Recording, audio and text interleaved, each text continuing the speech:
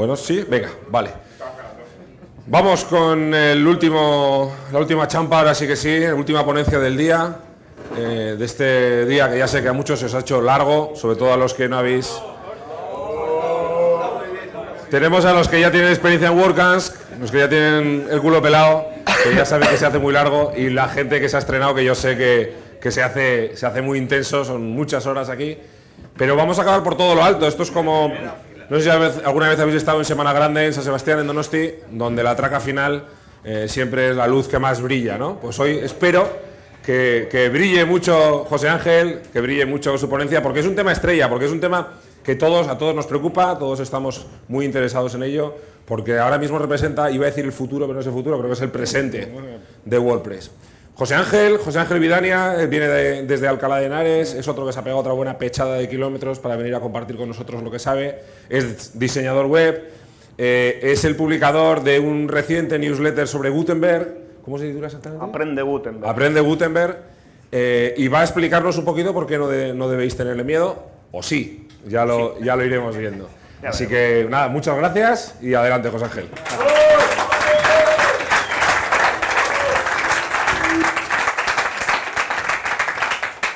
Se ve muy bien, he cambiado la fotografía porque Pablo me decía que la primera foto que tenía daba mucho miedo. Y entonces dije, voy a poner una inquietante por lo menos, ¿no? Para que la gente así tenga un poco, un poco así sorpresa, ¿vale? Eh, como ha dicho Pablo, eh, soy diseñador, desarrollador web, trabajo bajo la marca vdevidania.com. Vidania es mi apellido, que hay por aquí un pueblecito en Guipúzcoa muy cerquita que iré a conocer en breve. Eh, tengo también una newsletter de Gutenberg que se llama aprendegutenberg.com. Mi Twitter es arroba. Y si podéis hacer un poquito más de ruido con la cuenta de WorkAnir1, que creo que hemos sido trending topic casi todo el día dentro de España. ¿Vale? Comenzamos la presentación. ¿Qué es Gutenberg? ¿Alguno de los presentes no sabe qué es Gutenberg? ¿Todavía? Hay varios. Bueno, es muy fácil de explicar. Gutenberg es el nuevo editor de bloques de WordPress que se va a implementar en la versión 5.0. ¿vale? de WordPress. Si estáis mirando y navegáis por internet o naufragáis, entráis dentro del plugin, veis valoraciones de una estrella, veis mm, artículos, como los de este señor, eh, casi todo tiende a ser valoraciones negativas de, Gutenberg. Todas esas valoraciones tienden a ser negativas y es que mucha gente piensa que Gutenberg es el fin de WordPress. ¿vale? Yo soy más de la otra corriente. Yo soy de los que piensa que Gutenberg es el futuro de WordPress y que Gutenberg ha venido para quedarse, porque desde Automatic, aunque en cierta manera lo han impuesto por su decisión, en cierta manera, ¿vale? ha venido para quedarse. Y lo que nos están diciendo es que TinyNC, que es el editor que habíamos utilizado toda la vida, ha estado 15 años con nosotros, pero que ah, dentro de nada va a ser Gutenberg el que esté igual 15 años con nosotros. ¿vale? Que tengáis claro este concepto. Va a venir y no se va a ir a ningún sitio.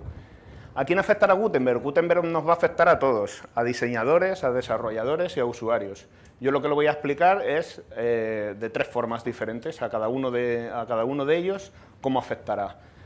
Empezamos por los diseñadores. Los diseñadores entre los que yo me incluyo son los que en un inicio menos afectados van a estar. Y vamos a ver por qué. Porque los temas de, los temas de WordPress no van a tener muchísimas variaciones. ¿vale?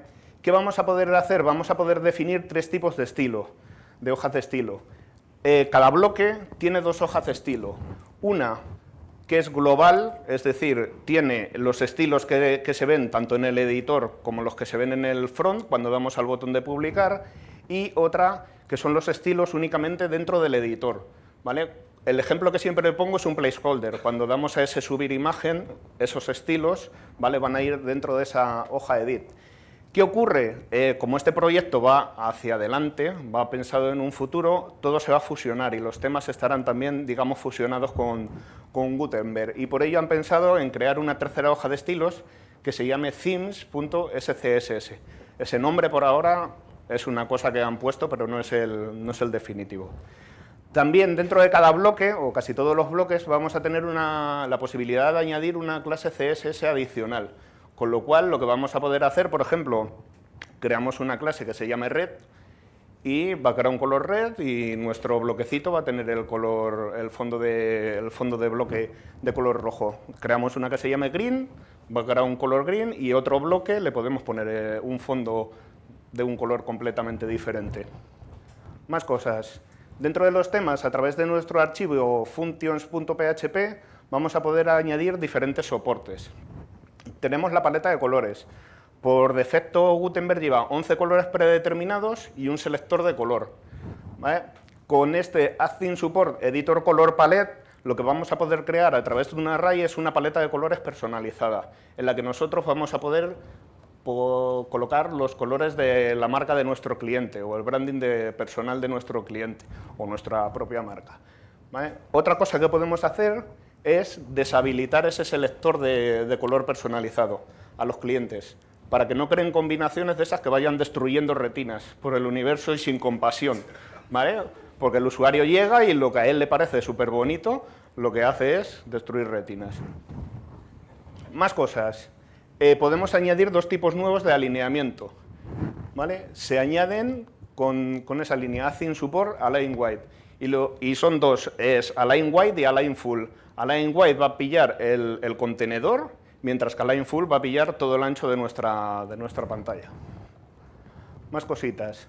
Vamos a poder encolar estilos al editor. Si os he dicho antes, iba a haber una, dentro del tema, va a haber una hoja de estilos que va a poder dar estilos al, al editor, ¿vale? Pues ahora mismo lo podemos hacer. Creamos una función, encolamos esa hoja de estilo donde nosotros queramos, añadimos la acción, ya tenemos una hoja de estilos para que se vea lo mismo dentro de nuestro editor que cuando la persona dé a publicar. ¿vale? Eso de forma visual va a ayudar muchísimo a los clientes. Personalizador. Te hemos la foto. el personalizador es la fase 2. Lo que vamos a hacer es, van a unir el personalizador con Gutenberg. ¿vale? Eh, la idea que tienen va a ser un poco que sea como un placeholder enorme, en el que nosotros iremos intercambiando esos bloques y cambiando en un bloque de imagen, subimos la imagen, ya está la imagen colocada. Un texto sustituimos por el texto que nosotros queramos, jugar de esa forma. ¿vale? Temas para Gutenberg. Ahora mismo hay muy poquitos temas compatibles para, para Gutenberg 100%. De todas formas, ya habéis visto las cuatro cosas que se pueden hacer para dar compatibilidad con, con Gutenberg. Hay un starter theme que está en ese, en ese GitHub, que se supone que es como el embrión del tema que será el 2019, o 2019 es, ¿no?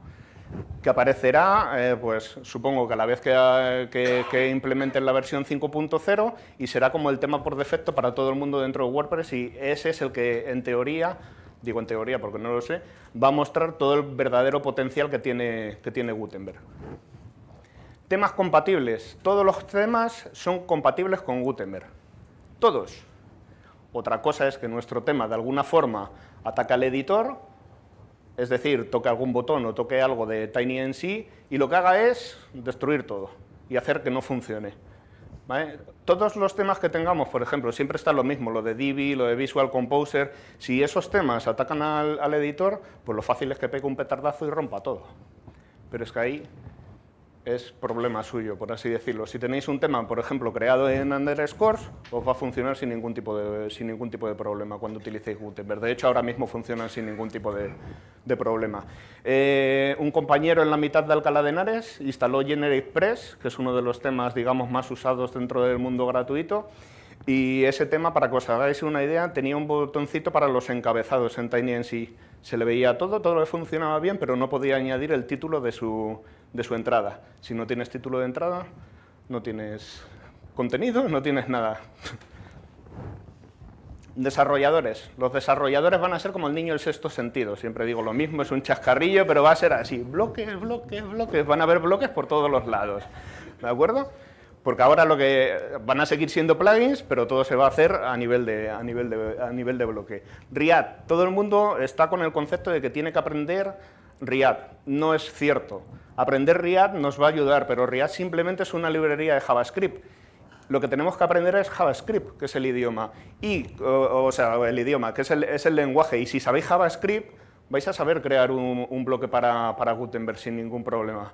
React ahora mismo creo que dijeron que Va como con una capa de abstracción y creo que se utiliza un 0,04%, que son los, los míticos props, ¿verdad, Santiago? Los míticos props. La función para crear bloques es register block type. Esta función se define y únicamente tenemos que poner un namespace, que en este caso es myPlugin, y un nombre al bloque, que en este caso es book. Esta función tiene varios ajustes. Eh, en la versión 3.0, que iba a salir ayer y va a salir el día 4, que será mañana o pasado, creo que es, incluirán parent. Eh, estos ajustes, siempre que definamos, siempre que definamos esa, función, los que llevan un asterisco, es decir, title, category, edit y save, siempre, obligatoriamente, tienen que ir definidos. Os paso a explicar un poquito cuál es cada uno de los ajustes. El primero es title, que simplemente es el título del bloque, description, una descripción corta del bloque, Category son cinco categorías predeterminadas y tendremos que llevar nuestro bloque a una de esas cinco categorías. Icon, que es el icono que dentro del buscador nos aparecerá de nuestro bloque. Keywords, que no tiene nada que ver con el SEO, porque todo el mundo cuando escucha la palabra keywords lo relaciona con el SEO. Simplemente serán tres frases o tres palabras que podremos añadir para dentro del buscador del bloque que se pueda encontrar ese, ese bloque. Es decir, tengo un, plugin de fotografía y si pongo cámara y la persona busca por cámara, dentro de esa keyword encontrará mi, encontrará mi bloque. Attributes son datos dinámicos. Estos datos se utilizan con edit y con save, con los dos, y siempre van, siempre van, siempre van unidos. Transform, oh, leche. Transform nos sirve para transformar un bloque de párrafo a encabezado, de encabezado a párrafo de imagen a galería, de galería a imagen, ¿vale? Podemos hacer ese juego, que vaya de un, bloque a otro bloque y otro bloque a ese mismo bloque. Use once lo que nos permite es que el bloque se utilice una única vez por entrada o página, con ese. No lo podríamos añadir una segunda vez. Eh, parent va a ser algo así como mm, bloques hijos. Eh, si sabéis el concepto de los child themes, pues es algo parecido. Tenemos un bloque que será el padre y cuando instalemos ese bloque tendrá bloques hijos que los podremos seleccionar. Mientras no esté instalado ese bloque padre, no podremos seleccionar los bloques hijos. Tenemos supports, que lo que nos sirve es para dar soporte y nos sirve, el, ejemplo más sencillo es para poder eh, utilizar HTML, para poder seguir editando en HTML personalizado como hemos hecho siempre con TinyNC. Luego, edit es todo lo que vemos dentro del editor. Cuando estamos dentro del panel de administración de WordPress, todo lo que estamos viendo todo eso va dentro del ajuste de edit. Y save es justo lo contrario. Es todo lo que se renderiza cuando nosotros pinchamos el botón de, el botón de publicar.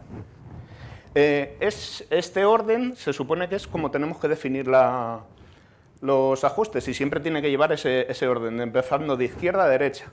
Como dice mi, mi socia y desarrolladora, eh, le gusta tocar y cambiar mucho las cosas. Hace un mes, cuando di la charla en Work Madrid, el, orden era completamente diferente. ¿vale?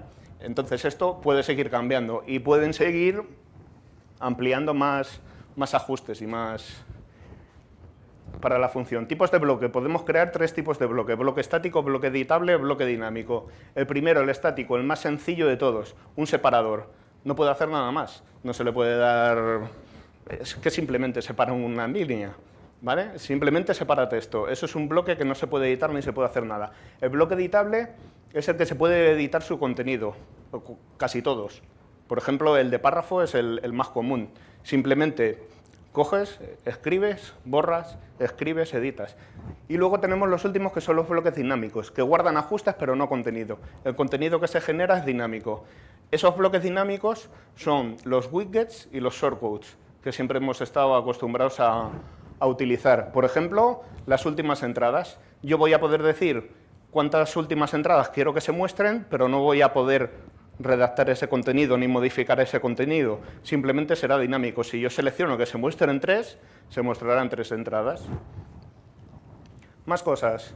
Vamos a poder en el ajuste de editar añadir barras de herramientas, tooltips, que nos ayuden para saber qué bloque es, y luego el inspector de controles o ajuste de bloque, que es esa barra lateral derecha que tenemos, que es donde están todos los documentos, es decir, donde está esas eh, extracto, categoría, etiquetas, lo que estábamos acostumbrados a ver siempre irá En el lado donde pone documentos y donde pone bloques simplemente estarán los ajustes del bloque que instalemos. Block templates son plantillas reutilizables creadas con bloques predefinidos. Es algo muy parecido a los page templates actuales. Lo que pasa que llevará cuatro bloquecitos, por ejemplo, en el, en el ejemplo de WooCommerce. Tendremos un bloque de título, un bloque de imagen, un bloque de descripción y un bloque de precio. Esos siempre aparecerán y únicamente lo que tendremos es que sustituir el contenido, dar a publicar y ya estará creado. Plugins compatibles. Este es uno de, los, de las principales contras actuales de Gutenberg. Eh, existe un 80,8% de los plugins actuales de WordPress que no se sabe si son compatibles o no con Gutenberg. ¿Vale? Esos datos, si os fijáis, están tomados del día 21 de mayo. Eh, he de decir que cuando hice la presentación en Madrid, eh, desconocidos eran un 83%, o sea que algo se ha mejorado. Y, lo que ha mejorado es el, dato de compatibles, que antes era un 13 y ahora es un, ahora es un 16. No compatible, un 1,6, en pruebas un 1,3%. Arriba, si veis, hay un enlace, luego compartiré la, compartiré la presentación. Ese enlace lo ha creado uno de los colaboradores del proyecto de, de Gutenberg y ahí lo que podemos hacer es, cuando nosotros probemos Gutenberg, si un plugin vemos que es compatible o no es compatible, simplemente subimos y, tiene la, para seleccionar si es compatible o no es compatible, damos y ya está. Eso para mí es un trabajo de comunidad, sobre todo cuando todo el mundo empieza a probar Gutenberg, ¿vale? Porque Yoast, por ejemplo, o WooCommerce, todo el mundo va a saber si es compatible o no es compatible. Ese pequeño plugin, que es una línea pequeña de, código, no vamos a saber si es compatible o no es compatible. ¿vale? Y ahí es donde todos tenemos que entrar y tenemos que colaborar y ayudar. Usuarios. Eh, los usuarios al final somos todos y vamos a ser los más afectados por la implementación de Gutenberg porque digamos que de alguna forma, de una forma u otra, todo va a cambiar. Lo primero que debemos hacer, probar Gutenberg. En la versión 4.9.6, lo han saltado, lo han vuelto a demorar, en la 4.9.7 estaremos a dos clics de probar Gutenberg. Si no realizamos esta prueba, no actualicéis sin probar. O sea, porque ese botón, cuando esté en la versión 5.0, será el botón de muerte y destrucción. Si nosotros pulsamos ese botón, se puede liar muy, mucho, mucho. Y, y, llegaremos y el cliente dirá, yo lo que quiero es actualizar, porque me han dicho que Gutenberg lleva bloques, es visual, es todo muy bonito, es todo... ¿Sabéis lo que pasa, no? Que la liamos. Bueno, la lía el cliente y se pondrá a bailar y te llamará y te dirá, oye, José, que le da el botón este de actualizar y me ha explotado todo, ¿vale? Tenemos que intentar evitar eso, ¿de acuerdo?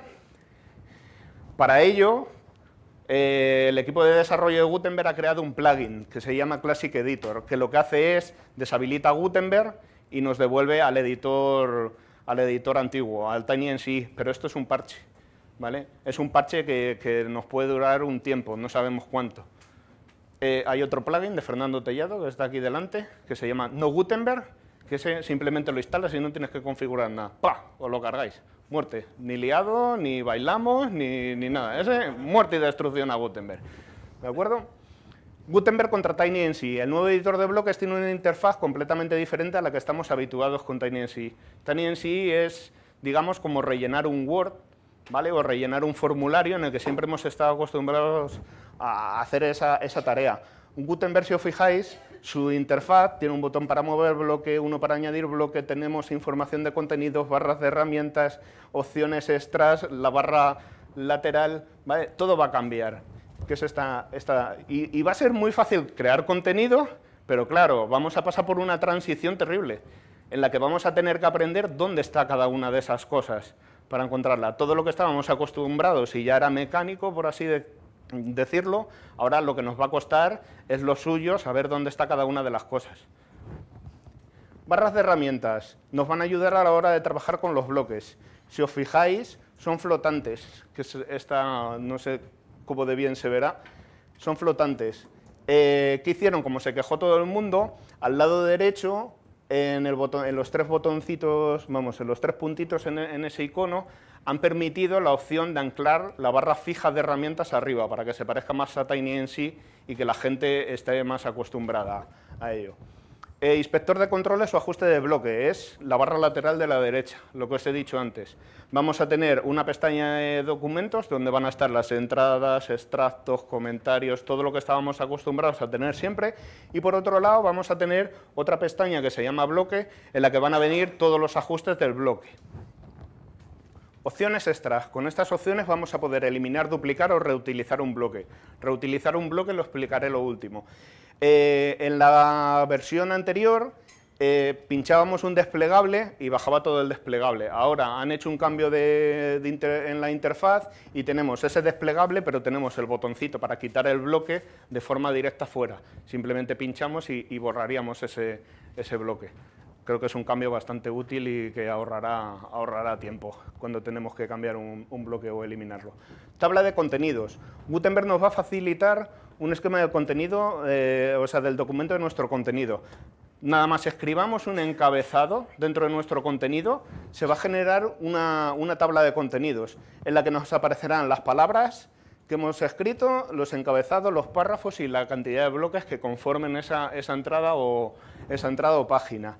Y este, es que no sé si se ve muy bien, nos va a generar este esquema de documento, por lo cual, si nosotros ponemos un H4 por encima de un H2, nos va a decir, oye, lo estás haciendo mal. ¿Vale? El H2 siempre tiene que ir por encima del, por encima del, H4. Esto igual es otra innovación bastante, bastante útil. Bloques. Existen, como os dije antes, cinco categorías predeterminadas de bloque. Los bloques comunes, los bloques de formato, bloques de diseño, los widgets y los bloques incrustados. Pasamos a verlos. Los bloques comunes son los más habituales en la creación de contenido, lo que siempre utilizamos, los párrafos, las imágenes, los audios, las citas, los vídeos, todos esos bloques van a estar ahí. Tenemos los bloques de formato. Si queremos volver al tipo de, edición eh, de TinyNC, existe un bloque que se llama clásico, en castellano es classic en inglés, que lo que nos va a permitir es eh, un bloque, pero que vamos a tener la barra de herramientas que hemos utilizado de TinyNC toda la, toda la vida. O seguir editando en HTML, como he dicho antes, con, el ajuste de, de support. Vamos a poder seguir escribiendo en HTML como hemos hecho toda la vida. Bloques de diseño. Para mí el futuro de Gutenberg reside en ese bloque de columnas que pone que es experimental, entre comillas. Está súper verde, ¿vale? Pero súper verde. En el momento en el que la afinen, Gutenberg tendrá la capacidad de poder competir contra esos Divi, Visual Composer, etc. Está creado con CSS Grid y ya os digo, es el, es el bloque en el que reside todo el futuro, todo el potencial para mí de Gutenberg. Nada más esto funcione, no vamos a necesitar ningún otro tipo de, constructor visual de los que se, paga ahora por ellos. Bloques de widgets. Los widgets y shortcodes son, como os dije antes, los bloques dinámicos de, de Gutenberg los shortcodes, si tenéis una página creada en shortcodes, van a seguir funcionando todos. Es lo que primero funciona de Gutenberg, de las cosas primeras que dieron la compatibilidad, los shortcodes. Van a seguir funcionando sin ningún problema. Y Wiki, si os fijáis ahora, solo está en el de categorías y últimas entradas. En la nueva versión, esta que sale el día 4, van a incluir el de archivos. El resto que conocemos de siempre, el de la nube de etiquetas, el menú personalizado, etcétera, los van a ir añadiendo posteriormente, pero cuando se implemente Gutenberg estarán todos los que siempre hemos utilizado dentro de los widgets. Bloques incrustados nos ayudarán a, mostrar de forma rápida contenidos de terceros. Eh, o en bit, o sea, o embed, cualquier servicio de terceros que utilice embed lo vamos a poder utilizar con el bloque de incrustar. ¿Vale? Y luego tenemos los servicios de siempre, Twitter, YouTube, Facebook, Instagram, etc. Bloques compartidos. Son bloques que se pueden reutilizar una y otra vez. Esta es otra de las funcionalidades estrellas de Gutenberg. Vamos a poder crear, por ejemplo, un botón que se un botón negro en el que le pongo un texto de contacta conmigo. Lo guardo como un bloque como un bloque compartido o bloque sí bloque compartido. Es que antes se llamaban de otra de otra forma. Eh, lo guardo como un bloque compartido. Le pongo un nombre le llamo botón de contacto, por ejemplo, y lo puedo incrustar todas las veces que yo quiera dentro de mis entradas o páginas. Nos va a ahorrar muchísimo tiempo, pero tiene otra funcionalidad maravillosa para mí. Si yo tengo el botón y es azul y lo cambio, o sea, es azul y lo cambio a, no, bueno, es negro en este caso y lo cambio a azul y le doy a guardar y mantengo el mismo, el mismo nombre que le había dado a ese, a ese bloque compartido, me va a cambiar en todas las páginas donde yo lo tuviera a ese color azul. Eso es una barbaridad. ¿Vale? Recursos. El repositorio de Gutenberg, donde están desarrollando el proyecto, el handbook, donde está toda la documentación, ejemplos de bloques, si utilizáis Sketch como herramienta, ya tienen la interfaz de Gutenberg, la tienen creada en Sketch para poder hacer wireframes, create Guten Block para si queréis crear un bloque, ¿vale? Ya un desarrollador indie ha cogido ese Webpack, Babel, todo eso, lo ha metido en una instalación de un clic y ya podemos crear a través de ahí, es un framework para crear los bloques sin tener que nosotros instalar todo de cero. Eh, Frontenberg podremos probar Frontenberg podremos probar eh, Gutenberg online. ¿Vale? Aprende Gutenberg, hay un melenas por ahí que dicen que tiene una newsletter de Gutenberg que sale los domingos, aunque no sé yo si eh, mañana va a salir, pero bueno, sale todos los domingos, ¿eh? puntual. Y un made un PDF, ¿vale? En inglés, pero un PDF bastante interesante de Gutenberg. Plugins, los dos primeros lo que nos permiten es de, registrar, o sea, habilitar y deshabilitar bloques de Gutenberg y lo podemos hacer a través de roles, entradas, páginas o custom post type. Eso es otra, otra cosa bastante interesante. Luego, los tres siguientes son bloques de diseño adicional. Quiero decir, gente que ya se ha creado su bloque de testimonios, su bloque de, pues no sé, de una botones con estilos diferentes, etc. ¿Vale? Gutenberg es el, el, plugin o el bloque que ha creado la gente de desarrollo de WooCommerce, que lleva todos los orcos que incorporaba por defecto, por defecto WooCommerce, ya están en ese bloque. Lo podéis probar, lo podéis instalar, es una pasada, la verdad. Luego, Disable Gutenberg es un plugin como el de Fernando, pero que lo que nos permite es lo que os he dicho también, deshabilitar Gutenberg a nivel de roles, a nivel de, a nivel de bloques. Y por último, los campos personalizados por el momento todavía no están incorporados dentro de, dentro de Gutenberg. Si, utilizáis ACF o algún plugin por el estilo, CMB2 era, ¿no? El que hablaste esta mañana, Fernando, pues esos sí se siguen mostrando, pero si lo habéis hecho a manopla, como se dice vulgarmente, ahora mismo no aparecen y lo que tenemos que hacer es instalar un plugin para que nos vuelvan a aparecer, pero supongo que en breve le darán soporte y se verá como siempre. Eh, para mí, como os he dicho antes, el futuro de WordPress me parece que es Gutenberg. Y pienso que todos acabaremos amando Gutenberg. ¿O no?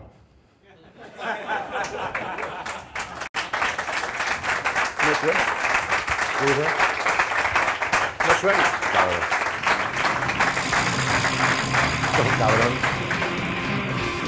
Ahora sí, ¿no? ¿Eh? Ha, tardado en entrar la música. ¿Qué quieres que.? No, se ha quedado nada bien, ¿eh?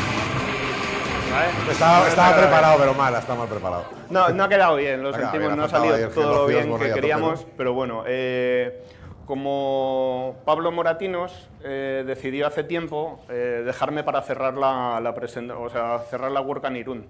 Y yo pensé que había que darle un final épico. Esto es como las películas, ¿no? Siempre tiene que haber un bueno contra un malo. Pues ya lo tenéis claro. El bueno, aunque no lo parezca, es el del pelo largo y la barba. El malo es el señor de la capucha. ¿Vale? Eh, se ha ido al lado oscuro. Entonces, eh, pensé que lo mejor que podíamos hacer era una, una charla de estas Lightning o relámpago cucha Cuchapecha. ¿eh? Una marranada de esas. Una, una cosa de esas. Cuchapuca, una cosa suena muy mal. Hablando de los pros y los contras que vemos ahora mismo en, Gutenberg. Entonces, esto, más que charla, es 20 segundos tú, 20 segundos yo. Eso es un pegarnos con cariño. Pero, pero quítate la capucha que me das miedo, tío. que ah, es que al final voy yo, voy yo a por la mía, ¿eh? Tú ya das miedo por ti solo, yo doy miedo por mí solo. ¿Vale? Bueno, venga. Entonces, si os parece, comenzamos. Empieza tú, venga. Venga, empiezo yo. Mira, mira, si es que viene a pegarse conmigo, ¿eh? este, este, hombre. En fin. Bueno, pros y contras, como os hemos dicho. El primero, para mí, edición visual. Era una cosa que se necesitaba dentro de Gutenberg. O sea, dentro de WordPress, perdonad, es que Gutenberg, Gutenberg, Gutenberg, pues solo piensa, igual que los desarrolladores solo ven bloque, yo solo veo Gutenberg, no... ¿Vale? Y, bueno, pues es, verdad, o sea, tiene razón. yo siempre he estado de acuerdo en la maquetación visual es el futuro de WordPress, pero no habíamos quedado en que era solo para, para portadas, para los diseñadores, no para los blogueros. ¿A qué, ¿A qué puñeta se les ocurre lo primero implementarlo? En las entradas. En las entradas, ¿no? O sea, no sé. Nos quejábamos de esto, que no tocaba los posts, pero a fin de cuentas esto es diseño, ¿no? Sí. Y sin embargo Gutenberg de momento no diseña. Correcto. Lo único que hace es joder la parva a los blogueros, pero bueno. Bueno. Ay, que me voy.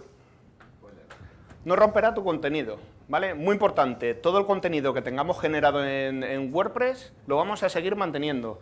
Lo que hará será que con las entradas antiguas que tengamos, creará un único bloque, ¿vale? Que luego se puede, a su vez, convertir en todos, todos los bloques separados. Pero todo nuestro contenido antiguo va a seguir funcionando. Y es verdad, pero sigo en las mismas que al final cada cosa que hagamos, me ser muy ilustrativa la imagen que has puesto antes, cada cosa que antes hacíamos en un clic, ahora nos va a llevar 7 o 8 clics. Por lo cual nadie ha pensado en que el usuario del editor nos quitan el TinyMC en nuestro pequeñito Word y nos meten un monstruo. Claro, a la hora de escribir, en principio a los blogueros... Claro, en principio a, los blogueros los va a tocar un poco la moral. pero es que ¿quién, genera los contenidos? ¿Qué pasa? ¿Ves? Se está roto. Se ha roto. Si es que. Es que. Es que. No. La que, sala, que le daba a salir, que no me he dado cuenta, que yo ya no sé ni lo que aprieto. Bueno, otro muy importante, adiós al efecto locking. Aquí siempre hablamos de lo de Divi, que todo. que a ver quién desinstala Divi, que a ver quién esto. Pues si tú desinstalas Gutenberg o utilizas el, plugin que he dicho oficial o, o, cualquier otro, no vais a tener ningún tipo de problema. ¿Vale? Todo va, todo va a estar funcional y vuestro contenido lo vais a poder mover y lo vais a poder llevar a donde os dé la gana. Efectivamente, se puede desactivar. Buena noticia, se puede desactivar. Ha puesto su plugin, es que... Claro, a ver, es el único que no habla de mi plugin, pues ya hablo yo de él. ¿Cómo que no? Si antes te he citado. Por favor. No, si, te doy la razón, efectivamente se puede desactivar. Se puede desactivar, ¿vale? ¿Pero no deja basurilla por ahí? No, nada. Comentarios HTML, ¿Eh? deja comentarios HTML. No, pero es basura. Esa, más lo, lo dice. Muy importante, ¿vale? Gutenberg utiliza comentarios especiales de HTML. Entonces, ese, contenido eh, lo genera con, este tipo de comentarios, ¿vale? Y eso es una forma muy limpia y muy semántica de, de, tener nuestro contenido, porque si nosotros lo desinstalamos, ese contenido lo vamos a poder llevar a cualquier otra plataforma de publicación sin ningún tipo de problema si queremos abandonar WordPress, cosa que ahora no es tan sencilla. ¡Eh! Copiar contenido, vienen dos por uno. Eh, la rutina de copiado y, pegado avanza una barbaridad. Podemos incluso utilizar Markdown, ¿vale? Si sabemos utilizar, vamos, si sabemos escribir en Markdown. Y vamos a poder copiar todo el contenido de nuestra página, porque pinchando en ese botoncito de ahí tenemos un botón que pone copiar todo el contenido. ¿vale? Copiaremos todo el contenido, lo llevamos a otra entrada y nos pega todo y ya tenemos todos los bloques creados. Y nos hablan de muchas cosas, pero aparte, además de ese 80% de plugins que no se sabe qué va a pasar con ellos, luego está el tema de la accesibilidad, que es algo que de momento es que ni se ha hablado, ni se ha hablado, ni se ha hablado siquiera en el, en el sistema de bloques. Ahora mismo los lectores de pantalla de todas las personas a las que debería ser accesible cualquier sistema que el TinyMC sí es, ninguno lee bloques de momento. Yo creo que es importante. Bastante. JavaScript, ¿vale? Volvemos a lo de siempre. Hemos utilizado PHP, pero para mí, o para mí, o para alguien que desarrolle, casi todas las cosas que están desarrolladas a día de hoy están desarrolladas con JavaScript. Y están desarrolladas con Vue, con Angular, con React, con eh, del framework que sea, pero se utiliza JavaScript. Y bueno, es lo que hablábamos antes, todo esto ha sido una decisión improvisada que lo que va a generar es una brecha digital. Yo lo llevo diciendo casi todo el día, eh, la gente no va a actualizar. Como tú decías antes, le va a dar miedo. Tú has recomendado no darle al botón de destrucción total. Claro, yo he recomendado. Y vamos a tener una brecha, estoy seguro, en la que va a haber, va a pasar como con Windows 7 y Windows 10, o Drupal 6 y Drupal 7, donde, a ver, por una línea van a correr los que tengan WordPress 5 y por otro lado línea van a estar los desactualizados, peligrosos, inseguros, que no se hayan atrevido todavía a WordPress 4, porque habrá miles de desarrolladores de plugins que no tienen ni el tiempo ni los recursos para actualizarse a, Gutenberg. Es una brecha digital que se puede generar. Algo así. No, no tanto. No, el no. 6 Yo tuvo no su implantación. Internet Explorer 6 era un dolor de cabeza. Esto no creo que llegue a esos Pues iba a generar una especie de bifurcación. Eso es. Deberían haber intentado eso y se propuso, pero dijeron que no. Ya, Tenían una idea de un long term, se- o sea, un long term service Eso como se hacía en Linux y cosas así, pero se pensó que no, que mejor implementarlo. Para mí es un proyecto para, o sea, de todos y, y todas. Si eres dise- diseñador o desarrollador, puedes colaborar en, en el proyecto en github.com. Eh, siempre que se encuentra un problema, siempre que, que se encuentra una necesidad, se escribe allí un issue y dan respuesta a todo, lo cual me parece una barbaridad. Y dan respuesta a todo y bastante rápido. ¿eh? Eh, si conocéis el desarrollo, si lo habéis seguido un poquito de, de Gutenberg, están currando a matacaballo y, es- y para mí están haciendo un trabajo excepcional, más allá de que Lo están haciendo. nos guste más o nos guste menos, dependiendo el color de Verde o rojo. verde o rojo. Y bueno, que sí, que está muy bien que hay que colaborar, pero que no se nos olvide que esto, la comunidad WordPress es un proyecto community driven, que se dice, llevado por la comunidad. Y aquí lo que muchos han propuesto, se ha pensado, no, alguien ha pensado que esto al final es un proyecto Matt Driven, que ha tomado una decisión y se ha fumado un puro con la propuesta de toda la comunidad. Y si no, os invito a todos a ver el vídeo de la presentación de Matt en Nashville, para que sepáis de lo que estoy hablando, de la opinión y de lo que pasa cuando hablan los desarrolladores, cómo se les calla. Y yo no me puedo callar ante ese tipo de cosas cuando se toman decisiones, a pesar de la comunidad, por mucho buen trabajo que hagan gente como Matías Ventura Matías. o que nos intenten educar, gente como nuestro amigo José Ángel. Lo que está mal, lo que mal empieza, yo creo que mal acabará. No, creo. Porque yo pienso que el futuro de, Google- de WordPress es que al final todos le acabaremos amando, ¿no? O no. Muchas gracias.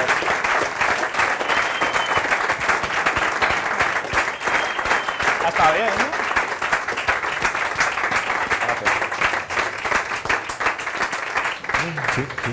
Bueno, ahora empezar a levantar todas las manos porque va a haber preguntas Vamos. por todos los lados. Vamos con las preguntas.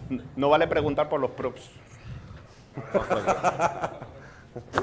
Buenas. Dime. Eh, muchas gracias. Muy guay, ha molado mucho. A ver, yo, eh, decirme los dos, por favor, desde mi humilde ignorancia, ¿dónde está el, el Armagedón?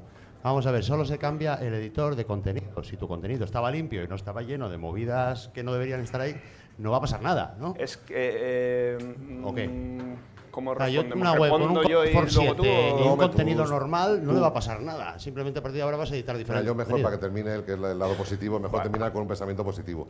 Sí. A ver, eh, nuevamente WordPress es una cosa que se llama CMS, ¿no? Se llama Content Management System, Eso es, para manejar sistema de contenido. gestión de contenidos. Claro. Entonces, la parte más importante, una vez que tienes montada la web, es el gestor de contenidos. Sí. Todo aquello que afecte al gestor de contenidos, que lo modifique, altera sobremanera el uso diario de ese gestor de contenidos. A nivel usabilidad, ¿vale? pero- Yo siempre digo que el diseño es un día, la gestión de contenidos es todos los días.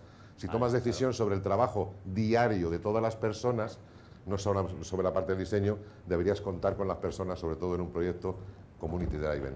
Sí. Entonces, hay muchas cosas que no son mierdas.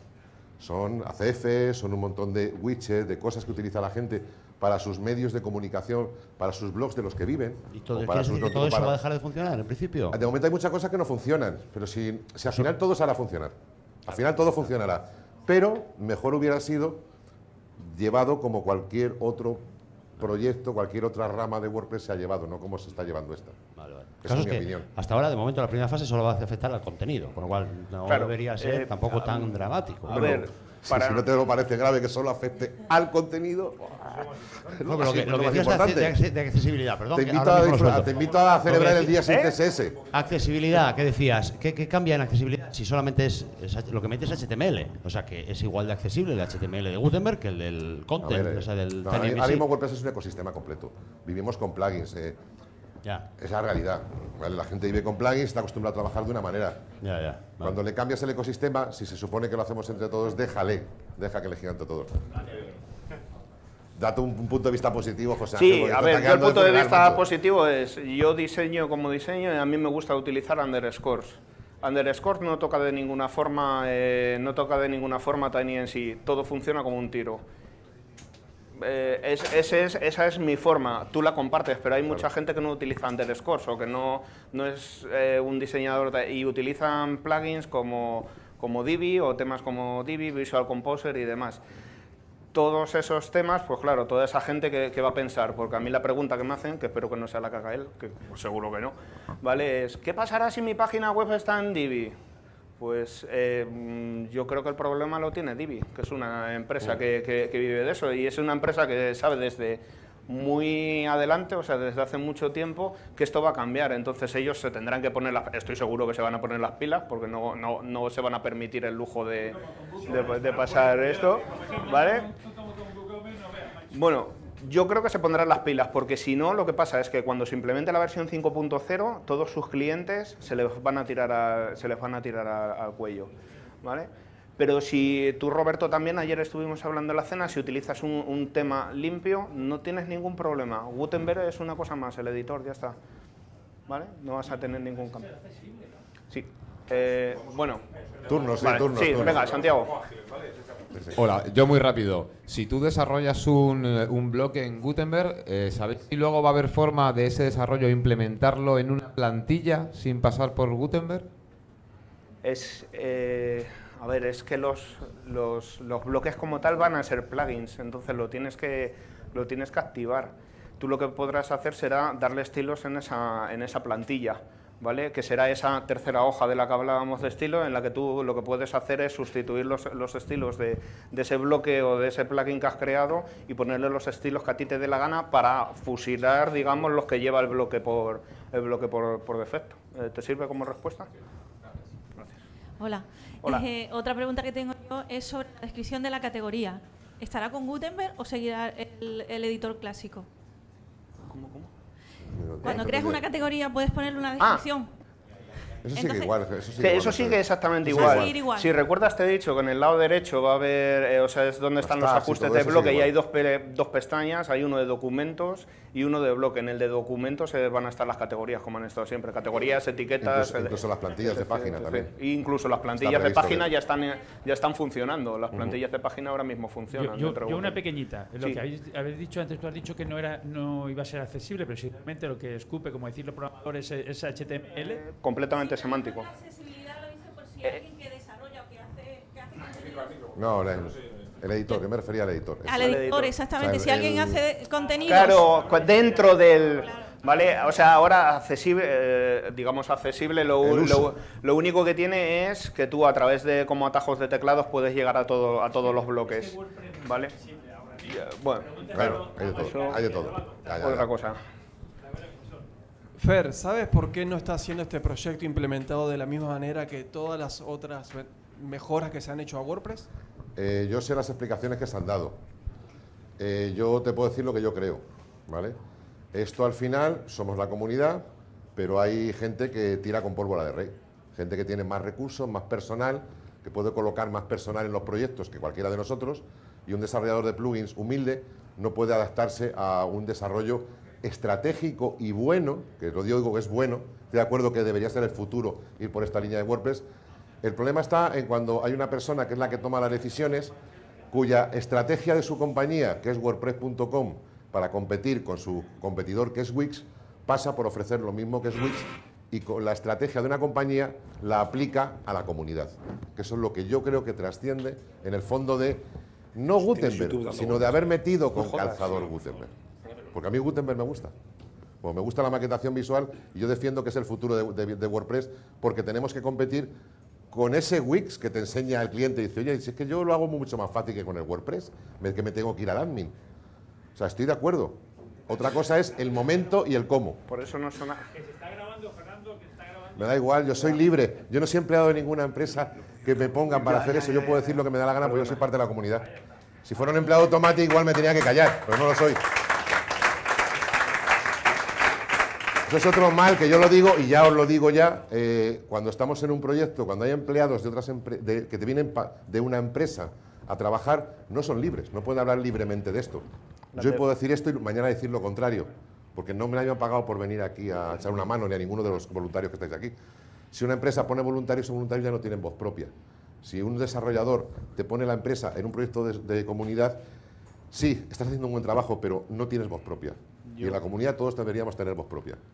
Yo, si me permitís, eh, mm, yo en cierta parte estoy muy de acuerdo en esto con, con Fernando y a lo que voy es a, a la frase que dijo Rafa Poveda en, en la Work Madrid, en la mesa, en la mesa Sí, al final, redonda sí. esta.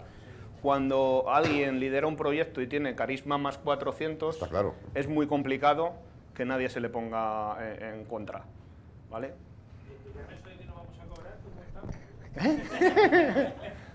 Gente por ahí esperando.